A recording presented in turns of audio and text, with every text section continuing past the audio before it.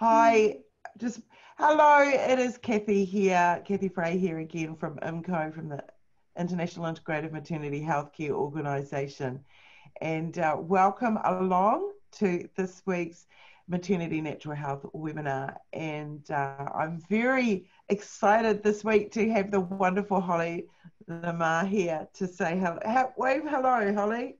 Hi. Thank you for having me. Oh, it's so exciting. And um, Holly is is talking to us from Boise, Idaho. So we were just talking about the um, the the fires in Portland and Oregon. It's just oh, devastating amongst yeah. everything else that the world is dealing with at the moment. Right. So, right.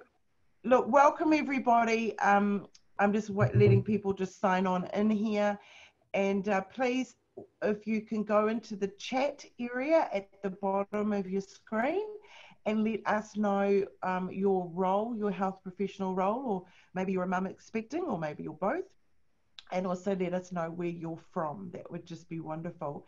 And so, what's going to happen today is that um, shortly I'm going to hand over the whole screen to Holly, and she's got a lovely PowerPoint um, that she's going to go through with you and uh, so that'll take around about half an hour or so. If you've got any questions during that time, please just type them into the um, Q&A button at the bottom of your screen um, and we'll absolutely make sure that those questions are answered. So um, after the presentation. And uh, yeah, so we've got some chats coming in now. That's awesome. It's always neat to see where everybody's coming from. And um, oh, we've got, I can see we've got Winton Terry here. Well, he's an upcoming speaker. We'll, we'll be um, talking with him very soon on one of these.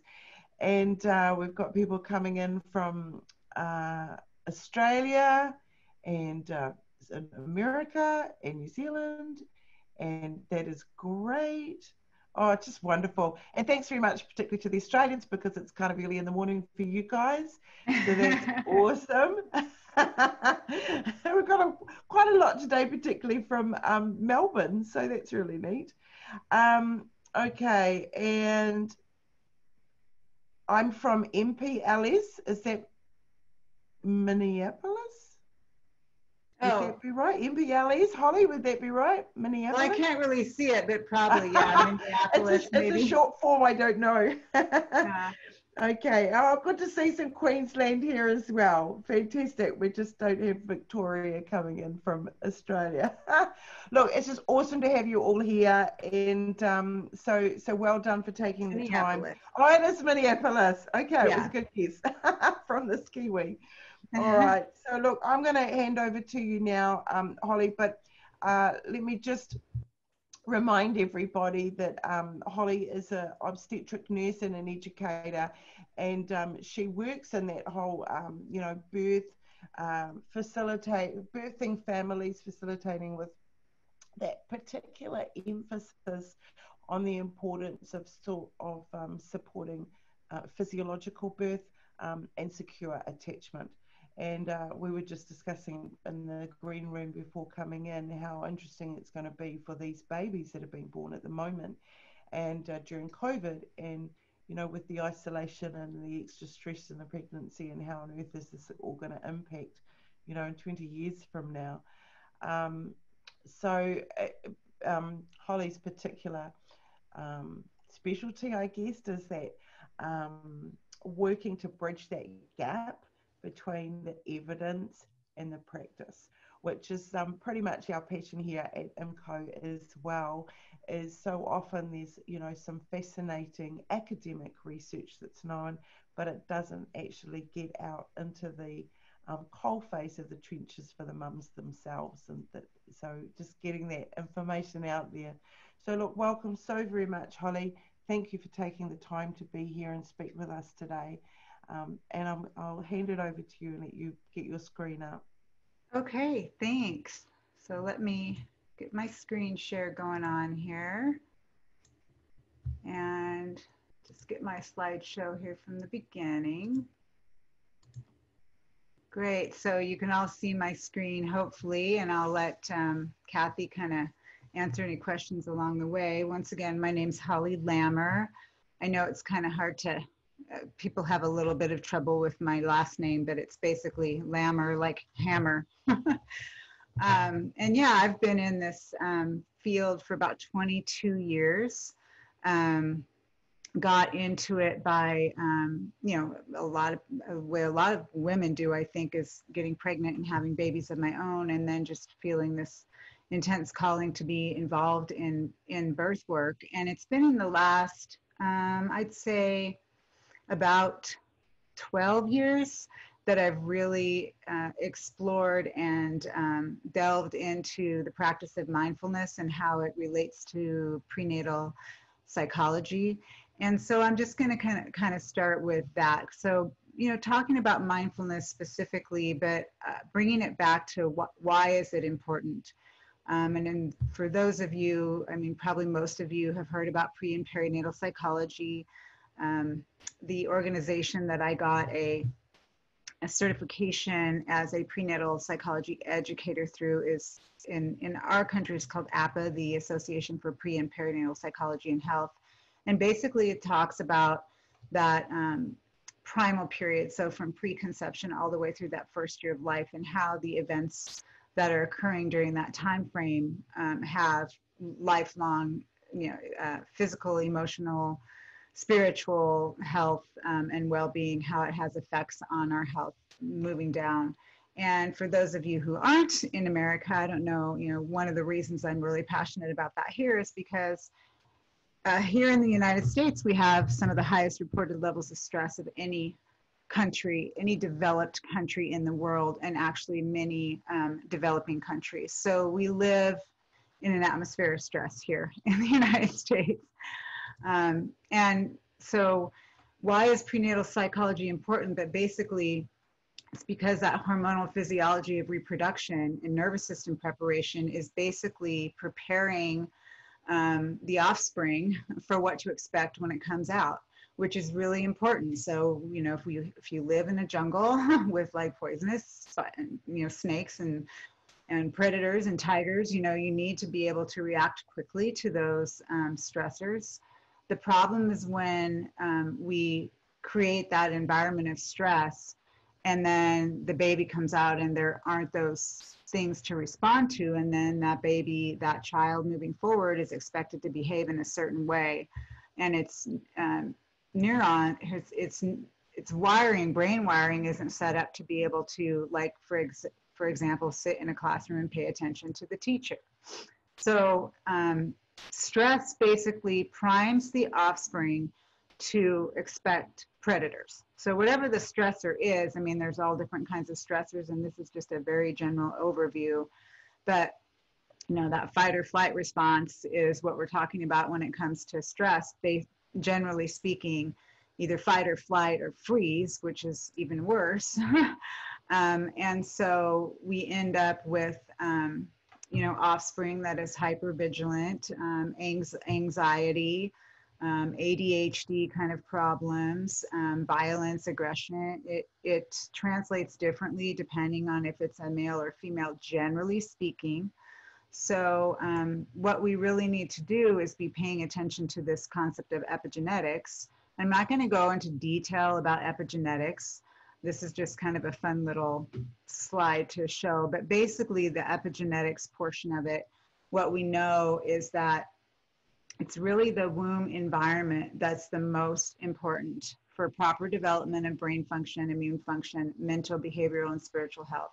And that can be even more important than genetics because that's what is um, turning on that gene expression. So it's turning off or on certain expressions of the gene that it, when the fetus is being, you know, the offspring is being prepared in the womb, it's whatever um, hormonal input it's having from the gestator, the person who's carrying the pregnancy, that those signals are turning on or off certain genes so that things will behave in a certain way when that child comes out. And I think that that's a pretty basic concept that most people know about. Um, like I said, my emphasis here um, in our country has been specifically because we have the highest levels of report, reported levels of stress. So that's the thing. It doesn't matter what the stressor is. If you report feeling stressed out, that is sending input to the growing baby. So um, just a little bit of history of kind of what's going on in there, which I'm sure you guys are, most of you are familiar with. And I like to bring up this concept of, um, you know, how even in the early weeks, well, preconception, I'm not going to go into preconception, but in those early weeks, you know, the fascia is being formed or fascia, however you want to pronounce it. And um, what we know is that fascia is kind of like the first responder in a stress situation. So if from the very beginning of life, that little body is kind of like getting kind of tightly wound up because mom is stressed all the time and sending those stress hormones to the developing baby. I mean, that's a good thing if that baby needs to come out and live in a way where it's um, having to, you know, be hyper vigilant for looking out for predators. But if that little being is trying to be primed for an environment of being able to sit quietly and respond appropriately in class and enjoy life and, and create meaningful relationships, that tightness from the very beginning can cause problems down the line. So, that first trimester, skin, fascia, obviously, pain channels, thermal sensors, um, I like this thing um, in that second trimester, really that there's a lot of other things going on and including emotional content, tone and, and emotional content. So now the sense of hearing is beginning to develop and, you know, as, you probably know, just the, the tone of mom's voice and how she's speaking and what she's responding to, and even what she's hearing outside. So I always encourage people to, you know, when they're pregnant, you know, now's not the time to get really into like, you know, violent TV shows or really uh, loud kind of grating kind of music i mean unless it's something you really really enjoy because you want to be sending you want you want you don't want to be reacting in a negative way when you're pregnant and sending that those hormones to your to your baby. Um, i love this um, little part about how when when you don't see babies mouthing and licking and sucking and sucking their thumbs and doing that stuff in utero you also know there might be a problem. So we want to be um, seeing a lot, not that we should be getting a lot of ultrasounds, but it's very, very normal. So increased touching of that lower part of the face and mouth in the fetus is, um, is probably an indicator of brain development. Um, including, and this is the important part, that being prepared for social interaction and self-soothing. Um, in that third trimester, uh, really those, that's when the attachment is forming. The, the, um, the brain, regions of the brain that are associated with um, uh, higher level functioning, emotional resilience, um, executive functioning, um, language, all of those kind of centers of the brain are starting to really kind of hone in in that third trimester. And so this is when those beginnings of the attachment style are actually forming. And I do have a podcast, and I can give you some good listens, uh, things to send out people that I've interviewed child behavioral psychologists about how important it is uh, mindfulness in pregnancy for the development of the baby's brain. But all of this is being formed by, of course, the mom's emotional states. And so, so far, because we were just talking about stress during the pandemic, right? But any any time um, it's kind of paints a picture of gloom and doom. There's a lot of stress in our world. There's a lot of um, discord. There's a lot of violence. There's a lot of uh, wars going on right now climate change. There's a lot to be worried about i guess. Um, and what we know and this is kind of like i'm kind of starting out with the doom and gloom and then we're going to change it to like what can we do better? And that's when mindfulness comes in. What we know about you know like even from pre preconception. You know, unwanted babies have low birth weight, more premature, small for gestational age. all of these kind of issues, including increased criminal activity, and even moms that are ambivalent about their pregnancies. Um, those babies have a little bit more problems. Moms have a little bit more trouble breastfeeding. Um, they're a little bit um, more awkward and not confident handling their babies. Whereas when we have an intentional period of prenatal bonding, so we're really working on uh, forming that attachment and sending the hormones that support attachment, um, the immediate benefits of that prenatal bonding practice. Um, and these are some from some studies. I can send those resources out if you want. Easier, less traumatic births, fewer interventions, more success breastfeeding. The babies are calmer. There's fewer cesareans, fewer preterm deliveries, and less postpartum depression and any perinatal mood disorder, actually. Um, of course, lifetime ben- benefits for that baby there's more secure attachment, better relationships, there's less substance abuse, more empathy. Um, they report feeling happier. And that's kind of like the bottom line, right? Doesn't matter what your life situation is, if you report feeling happy, then that's a good thing. Um, better emotional regulation.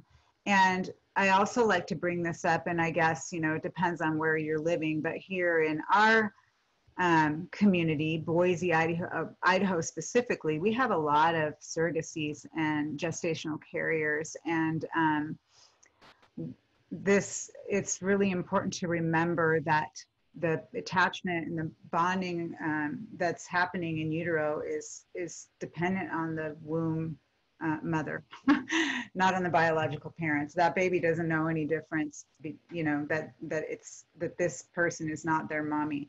So really important that we facilitate prenatal bonding with those babies as well. I also teach classes for um, adoptive parents and um, moms who are planning on um, placing their babies for adoption. So um, the bottom line is all of these early er, experiences really are um, setting the foundation for a lifetime of um, emotional and physical health and well-being. So what you know, what can we do about it? Um, and what this is where my where where I kind of like started, I was teaching a regular childbirth class in the hospital and I was, you know, seeing a lot, a lot of uh, people have babies. I mean, probably attended over 4,000 births and just noticing like what, what made that person have a positive experience. So, you know, we have a lot of birth trauma.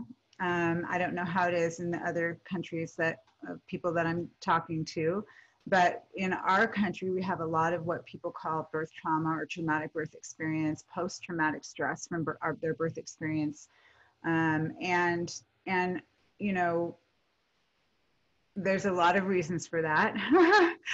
I would say most of it is the medicalization of birth, but the we also have to deal with the facts. And you know, in this country, 90 to 95 percent of people give birth in a hospital. So, how can we make that experience better for them?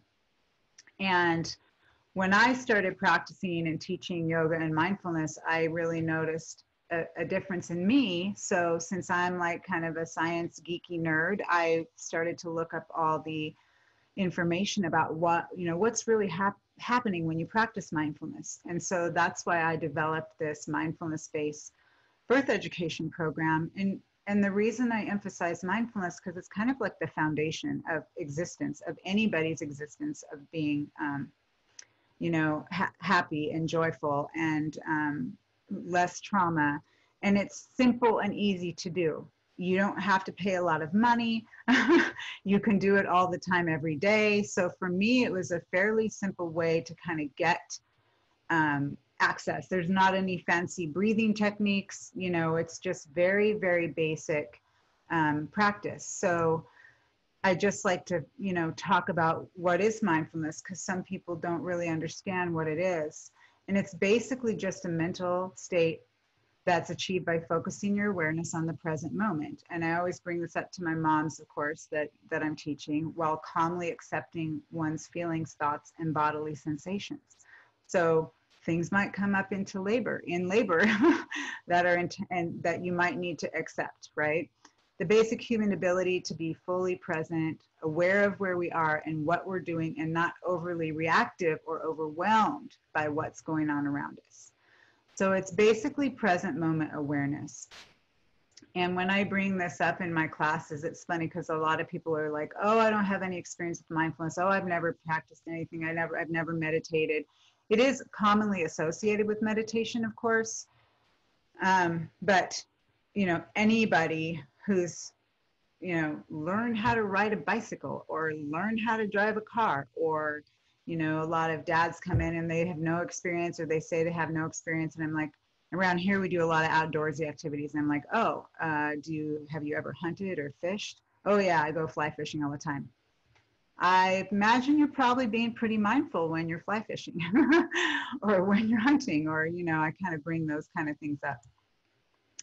So you know this is this is what i love about mindful about you know being able to kind of bring bridge that gap i guess between you know evidence and practice and bridge the gap between you know what people call like the woo woo stuff which by the way that's kind of who i am and what i do. I teach yoga as well. Um, but the the science shows that mindfulness literally changes the brain. So that's why it's important right you have increased activity in the parts of the brain that are responsible for positive emotions and emotional regulation um, it shifts the brain from sympathetic to parasympathetic responses, which in turn shifts the body responses. I mean, there's a lot of ways you can achieve this. Mindfulness is just my kind of tack on it. There's actually increased brain wave frequencies that are responsible for attention and focus. So when I bring this up too, especially in our community, we have a lot of problems with focus and attention in our children we have the highest rates of ADHD and different kinds of autis- autism spectrum disorder of almost any developed country in the world. so, um, so this is the good news, right? We can actually rewire our babies' brains while they're growing in our bellies um, towards emotional regulation. So just like you can wire your baby's brain towards stress, hyper reactivity, overreaction, aggression, you can also wire your baby's brain to go the other way. And of course, there's also intergenerational trauma that is part of this. And that can take a long time to reverse.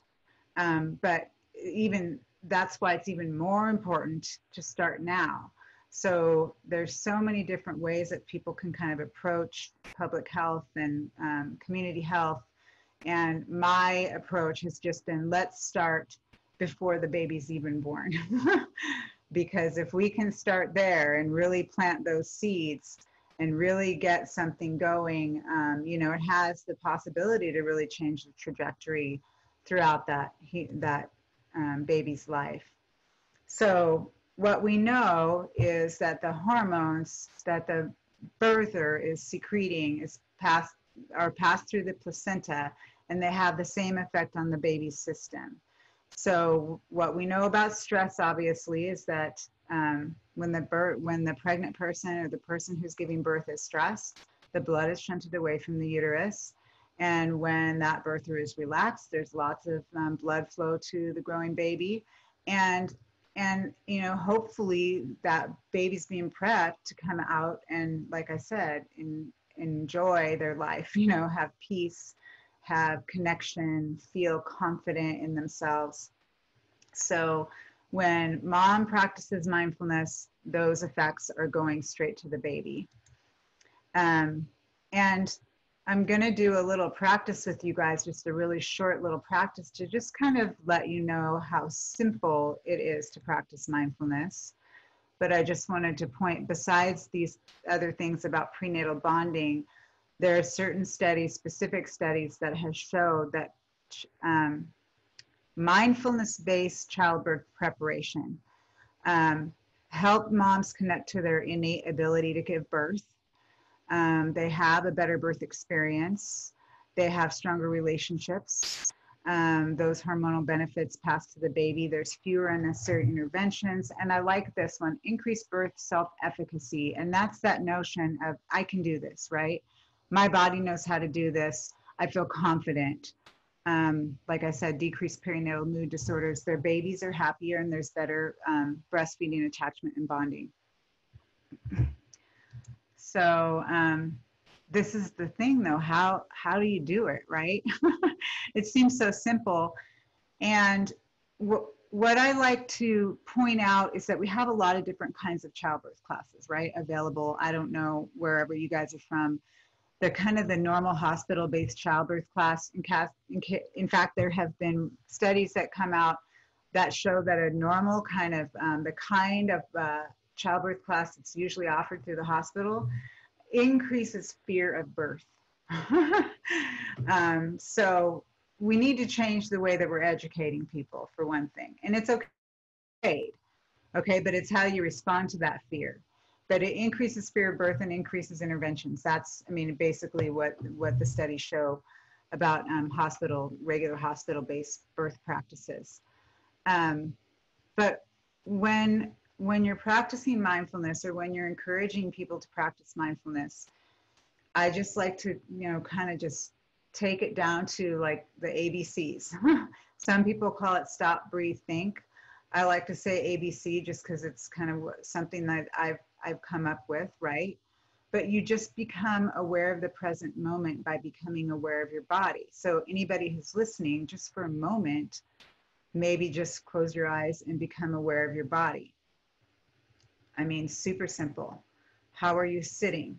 What parts of your body are touching the chair? And you don't have to change anything. Um, do your shoulders seem relaxed? And, you know, you usually just by saying, do your shoulders seem relaxed? Like even me, I'm like, oh, I'm going to relax my shoulders. I didn't even consciously choose to do that. It's just brought awareness to my shoulders, allowed my shoulders to relax. So when you stop and pay attention to your body, you come out of your thinking mind and out of any kind of hindbrain response and you it stops that automatic reaction. So once you become aware of your body and space, you know, are your hands relaxed, are your feet relaxed, you know, overall, how does my body feel? So this is like the first establishment of mindfulness is mindfulness of the body and then you notice your breathing. So usually we're kind of on this a little bit more uh, increased breath rate, maybe a little shallow. But once we begin to notice the breathing, you, you don't have to change anything, but you might just notice the inhale and the exhale and how it might feel different. You might notice um, that your breath is becoming a little slower as you pay more attention to it. And then you might like intentionally decide to deepen the breath and make it slower. And oftentimes, when I get to, if I'm really spiraling out of control, I won't even notice my inhale. I'll just say exhale to myself when I'm exhaling. So breathe in and then say to yourself, exhaling as you're exhaling, because it's the exhale that really drops us out of that sympathetic nervous system response. And literally, if you take three to five full deep belly breaths, your um, nervous system shifts from sympathetic to parasympathetic response. And then you can kind of choose of how you want to respond instead of just the reaction of what might have happened before taking that moment to think about it. So that's kind of that conscious choice. And um, when we practice this in our everyday life, um, it, the wiring changes, and but it does take practice. That's that is the problem, especially if we are of the sort that has not practiced this. We generally are multitaskers, which, by the way, the brain doesn't actually multitask. The brain is really only able to pay attention to one thing at a time, and it just keeps hopping back and forth, and then it gets fatigued, and you have brain fog and all kinds of stress. So, how do you practice is just ABCs awareness to the body, awareness to the breath, and then oh, what do I want to do about this? What do I want to what do I want to do about the fact that, you know, my shoulders are are really tense? What do I want to do about the fact that this person in front of me is driving 10 miles an hour under the speed limit and I'm on my way to work and I'm late? You know, so we can instead of just yelling, cursing, we can uh, decide how we want to react instead of our unconscious reaction just taking over. So it's basically responding versus reacting. And then what I have, and this is just for you guys, and you know, if you do have um, moms that you're working with, families that you're working with, this is great practice for children. Um, I always say do a simple sit there and do the ABCs of mindfulness if you can for five minutes a day. No, you know, you don't have to clear your mind of thoughts. You can't clear your mind of thoughts. Our minds are made of thoughts. If you had no thoughts, I would be very concerned. so you want to just notice the thoughts, notice the body, notice the breath, notice the thoughts, bring it back to the body, bring it back to the breath so you're just kind of doing the cycling of noticing your body, noticing your breath, and then all of a sudden you realize, oh, I'm thinking about the grocery list. Okay, bring it back to the body, bring it back to the breath. That moment that you notice that your attention has strayed, that's where the the the heart of the practice comes. That's where the benefit comes. Is every time you notice that your attention has strayed, you bring it back to your body and to your breath. And then um, I also this is called I call this gratitude practice where you're really spending at least five minutes a day noticing what gives you joy and let, let your senses lead you. So instead of maybe thinking about some really fantastic experience you've had, it's or like a person, or I mean, you can think of that, but it's really simple, you know, because maybe everything's shit in your life. I'm sorry if I said shit on the international thing. Um, and you don't have anything that you can really feel joyful about um, you know, maybe the color of a flower or the smell of your favorite candle or the feeling of sunshine on your skin, the warmth of the coffee mug or the tea mug in your hand. And so you take full deep, three full deep breaths using your senses like, oh, this feels nice and warm. Oh, I love this color, the blue sky, whatever it is. And you take three deep breaths into that to really kind of cement that feeling of joy into your cells. And then also working with discomfort. Anytime you feel uncomfortable, either like in your body or in your mind, there's anxiety, there's a lot to be anxious about. Um, you know, take full deep, take three full deep breaths if you feel like my example is going, you know, behind somebody who's going under the speed limit when I'm in a hurry um, not that I speed around, but like that's one thing that I know just drives me nuts. You know, so I'm like, okay, I feel the steering wheel in my hand. I'm going to take three full deep breaths, and that will shift your nervous system, and you'll be able to respond instead of react to the, the discomfort. and then, uh, just kind of in conclusion, you know, how is mindfulness or how can mindfulness benefit um, in pregnancy, whoops, I just went right on there, decreases the effects of stressors, which and helps with prenatal bonding, attachment, primes the baby system for peace, um, helps with everyday aches and pains. During birth, obviously, working with discomfort during pregnancy is going to help you suffer less from pain. If there's complications, you're more able to stay calm. So the reports that I get from the people who take my mindfulness class are not necessarily, oh, everything went exactly the way I wanted it. It was like, you know, everything may have gone to hell in a handbasket, but I felt good about the experience and I felt calm during the chaos. So that's that's the benefit of the birth. So then you walk away from the birth with um, a transformational experience instead of a traumatic experience. And then, of course, in postpartum, there's better attachment, bonding, breastfeeding, no matter what happens. Um, better able to deal with the complications of hormone fluctuations. Um, uh, mindfulness increases immune function, which is going to help with healing and recovery. And then for parenting, of course, like the birth is nothing, right? this is where the actual benefit of the practice comes is for your parenting journey. So parents who practice mindfulness have better experience with their children, better relationships with each other. Children have better emotional regulation, self-confidence, and fewer behavioral problems when their parents practice mindfulness. So that's kind of basically a really quick um, uh, background or like uh, I don't know presentation on why it's important, how simple it is, and um, I'm ready to take any questions. Or do you want me to stop sharing now, Kathy?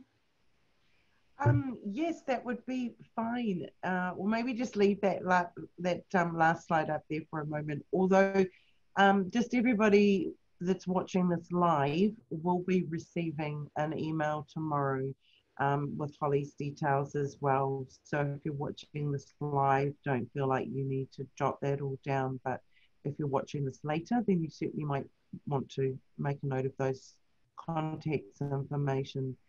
Um, I love that um, last bit that you talked about that the um, children of parents who practice mindfulness have the the benefit. I think that's just gorgeous. Um, and because we kind of know that in our in our soul but right.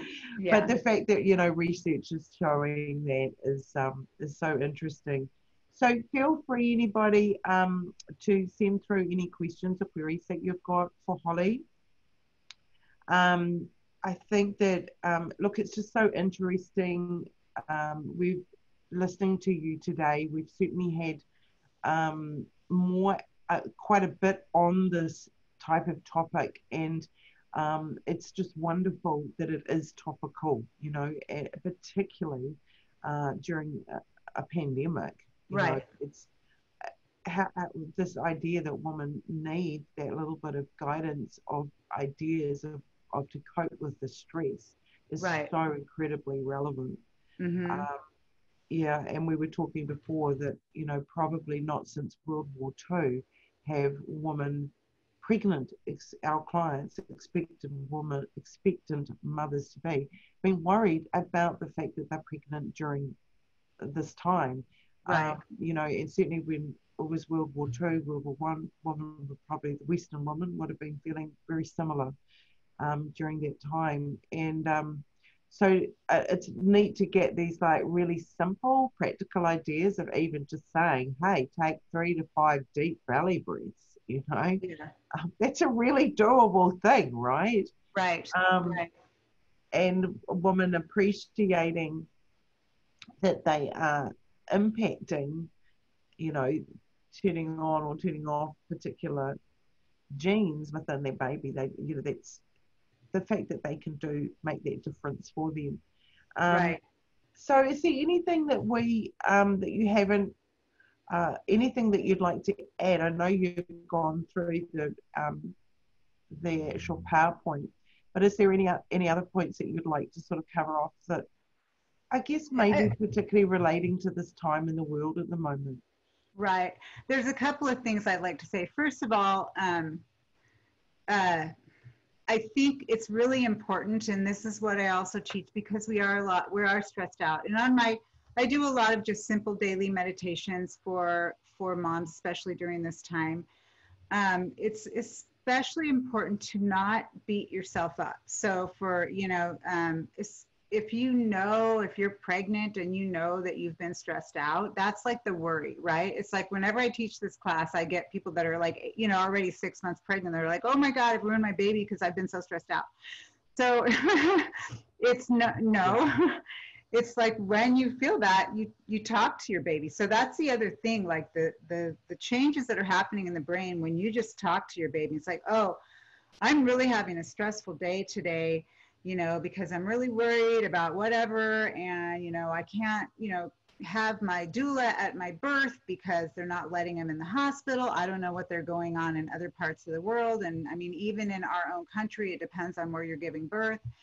Um, I can't have my support person with me, you know, like talk to your baby like your baby is a real person. And just the fact I mean, it doesn't really matter the words that you're saying, but like the fact that you have the awareness to like, oh, you know, hey, this doesn't have anything to do with you, baby.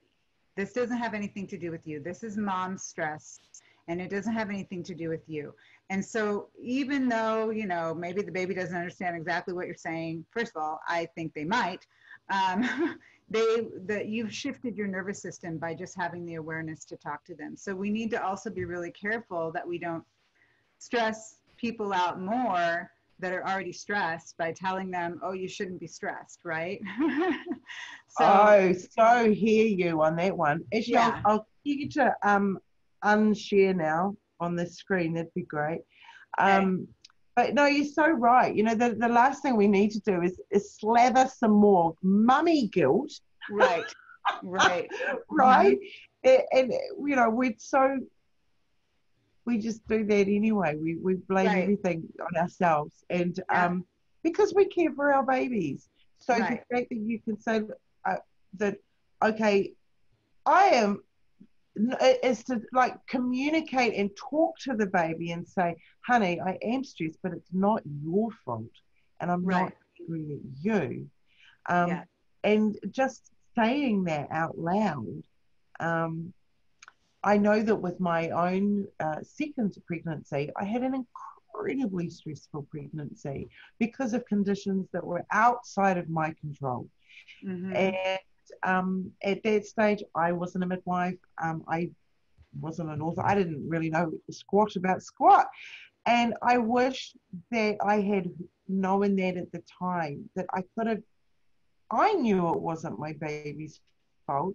I knew I wasn't annoyed at my baby, but I know that I was um, incredibly stressed.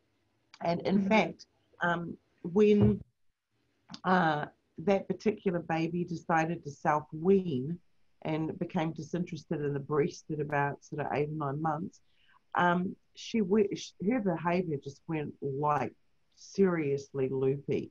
And I ended up taking her to a homeopath and we treated her for adrenaline withdrawal homeopathy. Oh wow! Yeah, and it worked a treat. Like I, she was back to normal. Um, and interestingly, now well, she's 21 now, but she is an adrenaline junkie. So, yeah. and she's training to be a paramedic. So there we go. yeah, yeah, yeah. and um, but that I was always very conscious of the fact that her pregnancy was in the middle of a lot of very stressful things in my life that were nothing to do with her. Right. Um, you know, and uh, I, I don't think I ever sat there and said, This is not your fault. I just carried the guilt. Right. Yeah. And just saying that to our mums, especially during COVID. Right. Um, it's not your fault. And right. um, tell your baby it's not. I think that's so empowering. Right. And then also, I would, and during, especially during this time, you know, we can't have our support people. Just, just remembering that, like, you know, you, you, there's a lot of generations of women who have given birth, no matter where you live, in times of stress, and they've had, they've passed down that wisdom to you. So you have it. You have it in in there. You have it in your soul. You have it in your cells and you can get through this. And your baby's really smart. Your baby also knows how to be born. yeah. So give That's our right. baby. And I mean, yeah. um, it's uh, Margaret has made a comment here that stress is a necessary part of life, and it's absolutely true. But I think exactly. There are certainly times when you just know that you're more stressful than you'd like to have been in that pregnancy. Um, right that particular pregnancy for me, I also got chicken pox at 20 weeks. Oh, um, wow. So, yeah, let's just add a bit more on there. And I'm like, yeah. I didn't yeah. even know I'd never had chicken pox. And oh, I got that from my elder child, and I was incredibly sick. And the placenta was mush at the end of that pregnancy. Um, Yeah, like there was a lot going on. And yeah. um, so we do know that stress is a normal part of, of life, but it's that when you know that you're in the abnormally high level of stress um, and that you can't eliminate. So just being able to tell a woman, just say, I know I'm stressed. I think that's beautiful.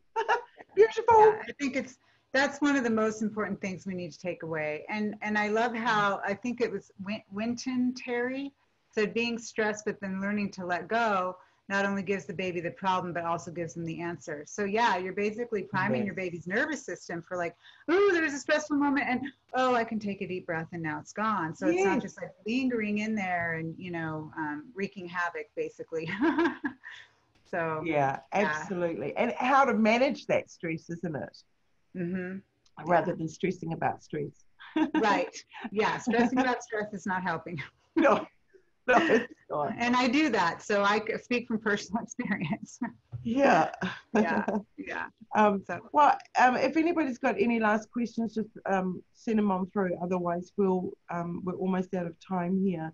Yeah. Um, but I do have a I do have a training coming up next month too. It's all going to be online. So fabulous. Tell us about that. And maybe because this is going to be on YouTube um, more permanently, tell us about the, the training that's coming up next month and perhaps ongoingly how that works. Um, yeah, so on um, on the training will be on online and in private diet. We'll have a few people in person. It's October 24th and 25th, and it's for um, uh, CEs for any birth worker. And um, it and then i'll have everything will be recorded so you'll have like a couple weeks afterwards to access the stuff. And then um, uh, you would sign up through my website www.embryoga.com go to book online to the training sessions and then that's how i generate the the email list for the zoom links.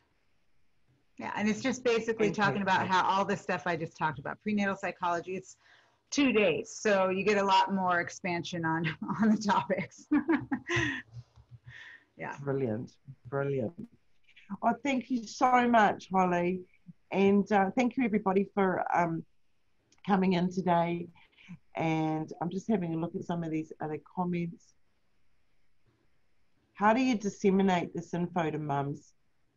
Katie's asking, so that they don't feel like they're doing wrong or damaging their baby if they are stressed and anxious or depressed. Well, I think maybe um, you might feel that we've sort of covered that one off. Is is to, you know, I, I mean, I've certainly um, seen clients over the years who are in those situations where they've got stresses beyond their control in that pregnancy. Right. You know, maybe their mother-in-law is dying, or the, their partner's yeah. lost their job, or um, yeah, so that's great. Thanks, Katie. So I do feel yeah. like we've covered that. That's really good. Um, yeah, thanks, Winton. Yeah, so good. Being stressed, but then learning to let go. Not only right. gives the baby the problem, but also gives them the answer. That's a beautiful, beautiful comment that you've um, got there. Um, yeah, so look, thank you, everybody. I think that's all. And anything that you would like to wind up on there, Holly? No, that's just it. I really thank everybody for listening, and I just feel like um, the more that we can water those seeds of peace for the next generation, the better our world will be, and um, of course, you know, for ourselves. um, but I really appreciate you and appreciate all that you're doing, and thanks for having me on. Oh, thanks for taking the time to join us. We've had just the most um, fantastic response um, from you know experts like yourself that are specializing in certain areas wanting to share that information. And you know i think it's just so amazingly exciting that you know we, we even have these this technology these days where we can you know chat online like this and share it. I mean it's just so brilliant you know. Yeah. Um and so so that's just neat. And, and we but we couldn't do it without our attendees attending. So exactly. very much Thank everybody you. for tuning in today, and uh, we wish you all a wonderful rest of your week, and uh, hope to see you same day, same same time, perhaps next week with our next speaker. Thank you, everybody, and thank you, Holly. You're welcome. See you.